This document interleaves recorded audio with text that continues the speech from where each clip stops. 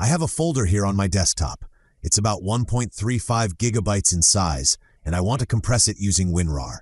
After compression, the file size should be much smaller, making it easier to upload or send online without using too much data. Let me show you how. If you don't already have WinRAR installed, open your browser and search for WinRAR. Click on the first link. It will take you to the official WinRAR download page. Now, click Download WinRAR.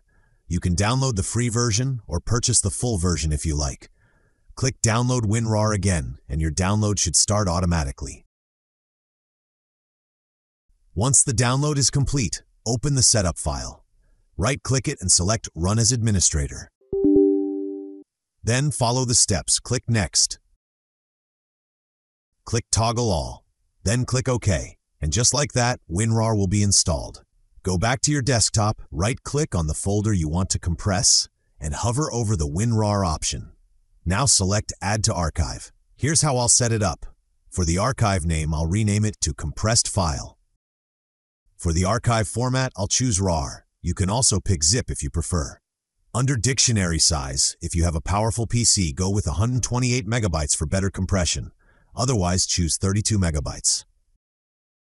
Under archiving options, check Create Solid Archive. You can also lock the archive or set a password if you want, but those don't affect compression size. Once that's done, click OK. The compression process will begin. This may take a while depending on how large your file is. I'll fast forward this part. Done. Now we have a new RAR file on the desktop. When I hover over it, you can see it's about half the size of the original folder. Remember, the original was 1.35 gigabytes. To view the contents, just right-click on the compressed file, select Open with WinRAR, and you'll see all your files inside.